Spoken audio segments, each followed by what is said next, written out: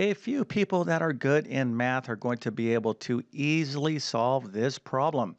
However, I think most people are going to have to work to get the solution, or they may not even be able to solve it. So let's see how well you do with this question. So, a zoo charges $5 for child tickets and $12 for adult tickets. On a busy day, the zoo sells 300 tickets and collects $2,403. So the question is how many child and adult tickets were sold? All right, now feel free to use a calculator, but if you think you know the answer, put that into the comment section. I'll show you the complete solution steps here in just one second. But uh, before we get started, let me quickly introduce myself. My name is John, and I have been teaching middle and high school math for decades. And if you need help in math, come on over to my site, tcmathacademy.com. You can find a link to that in the description below. And if this video helps you out, or if you just enjoyed this content, make sure to like and subscribe as that definitely helps me out. All right, so one more time. A zoo charges $5 for child tickets and $12 for adult tickets. On a busy day, the zoo sells 300 total tickets and collects or makes $2,403 how many child and adult tickets were sold. Okay, so let's take a look at the full solution to this problem right now. So the best way to solve this problem, in my humble opinion, is to use algebra. Because in algebra, we have these lovely things called variables, things like x and y, a and b, and remember, these things just represent numbers. Now, why is that going to be useful to us? Well, if we look at the question here, it's asking how many child and adult tickets were sold. So we're looking uh, to answer two unknown values, right? So there's not just one answer to this problem, there's two numbers, right? One number that uh, tells us how many child tickets were sold, and another number that tells us how many adult tickets were sold. So how about we use uh, variables here to represent these uh, numbers? So maybe we'll let the variable x represent how many child tickets were uh, sold, and maybe like the variable y represent how many adult tickets were sold. So this is the power of algebra. We can use variables to represent what we're looking to solve for. Now, of course, that's only the first step. And what we want to do is actually formalize uh, these variables. So you want to write things in this manner. So I'm going to say in a very explicit way, let X equal the number of child tickets sold. Okay, then we'll let Y equal the number of adult tickets sold. Okay, so these are just good habits to get in, especially if you want to uh, be really good in solving algebra word problems, is you want to uh, identify what your variables represent. Okay, so we're looking uh, to solve for x and y. So we have two variables, and if we can find out what these variables are equal to, well, we can obviously solve the problem. But we can't solve for variables in algebra unless we build an equation. So for example, if I was trying to figure out what x is equal to, I need an equation like 2x is equal to 10 so I can solve for x. So this is the next step. We need to build some equations here. But as a general rule in algebra, the number of variables that you're looking to solve for, this is how many equations we need to build. So if this problem only involved the variable x, all I would need is one equation with x in it, and I could solve for that x. But here we're trying to solve for x and y, so we're going to need two equations. We're going to have to build two equations in both x and y. So again, as a general rule, the number of variables that you have is the number of equations that you need to build. And this concept, or what we're talking about um, from an algebra standpoint, is something called a system of equations, or to be more precise, a two variable linear system. Okay, so now we need to build some equations here. So uh, again, we're going to let x equal to the number of child tickets sold and y equal to the number of adult tickets sold. So we need to build, again, two equations that, both, that have both x and y in them. So let's go back up here to the information in the problem and let's see if you can build at least one of these equations. I think one is really easy. The other one might be a little bit tricky, but let's see if you can actually build these two equations from the rest of the information in the problem. Okay, so here is what you need to do. So one equation that we can build is total number of tickets sold. So again, x equals what? Well, x is the number of child tickets sold and y is the number of adult tickets sold. So there was 300 tickets sold. So child tickets plus adult tickets is going to be equal to 300. Okay, so that is one easy uh, equation that we can build, and hopefully you saw that. Now the next one is a little bit trickier, but I think it's still pretty easy, and that is total revenue, or how much total money we made. So remember, uh, the cost of uh, child tickets is $5. So how much money did we make by selling child tickets? Well, it's the number, X is the number of child tickets.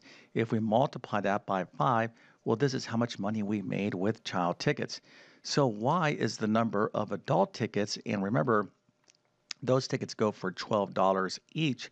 So 12 times Y is how much money we made with adult tickets.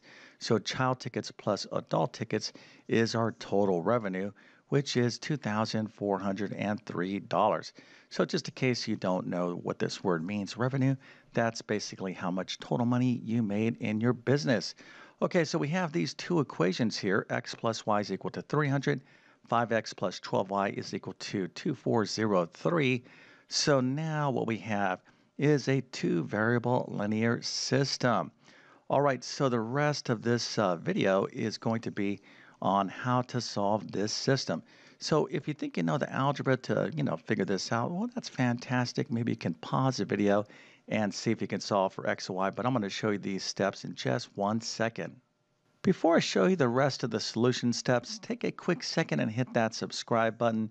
This really does help me out on YouTube. Also, hit that bell notification as well so you can get my latest videos. So if you need additional help in math, you got to check out my full main math courses.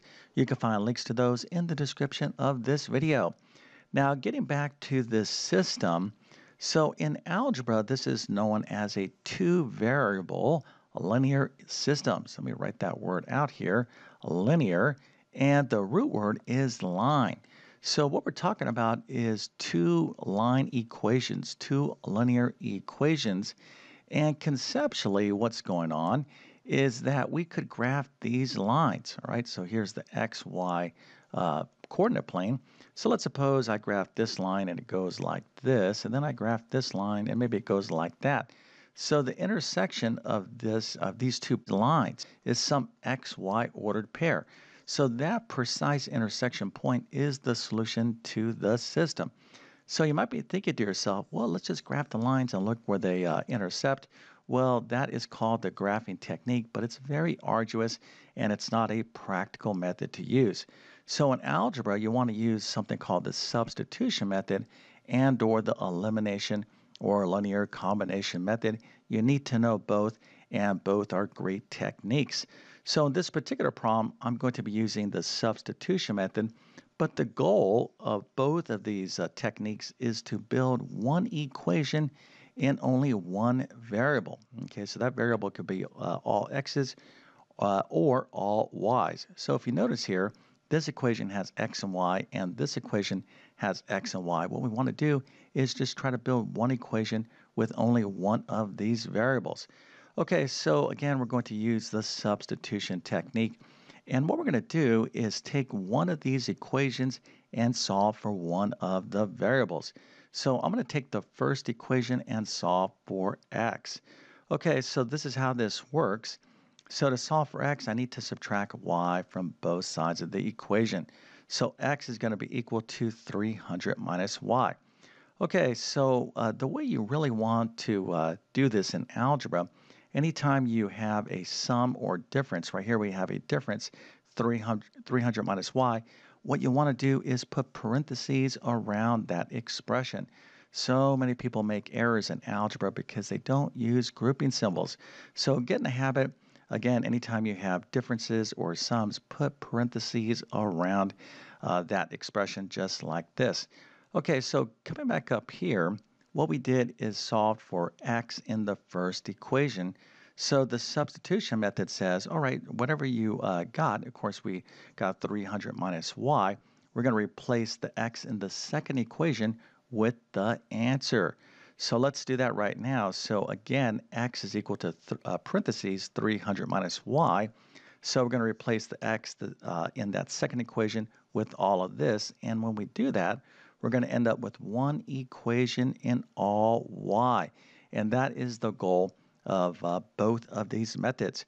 Okay, so now we have 5 times 300 minus y plus 12y is equal to 2403. Now remember, we have parentheses here uh, because this is going to tell us to use the distributive property. So we need to take that 5 and multiply it by both 300 and y. So we're going to get 1500 minus 5y plus 12y is equal to 2403. Okay, so here we have like terms, negative 5y and 12y is 7y. So now what we need to do is get this 1500 to the other side of the equation.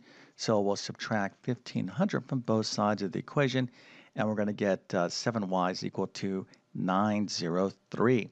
All right, so one more step here uh, to solve for y, and that is all we have to do is um, divide both sides of the equation by 7. So 903 divided by 7 is 129. Okay, so y is equal to 129, but uh, we're not done. We need to solve for both x and y, but we have y, and remember we have this lovely equation here. x is equal to 300 minus y. So because y now is equal to 129, we can replace this y with 129 and figure out what x is equal to. So x is equal to 300 minus 129. Of course, that is 171. Okay, so we have x and y, but we have to go back to the beginning of this problem to remember what uh, x and y represent. So remember, x is equal to the number of child tickets sold, so that's 171 and y is equal to the number of adult tickets sold. That's 129. Okay, so how did you do? Well, if you got this right, you definitely get a nice, lovely, happy face and A plus a 100%. Great job. Now, again, what we're talking about here is uh, a two system, a two variable linear system algebra word problem. We're talking about like first year algebra. So if you forgot this stuff, no big deal. But if you want to learn this stuff, you got to take it one step at a time and then practice, practice, practice. Okay, so with all that being said, I definitely wish you all the best in your math adventures. Thank you for your time and have a great day.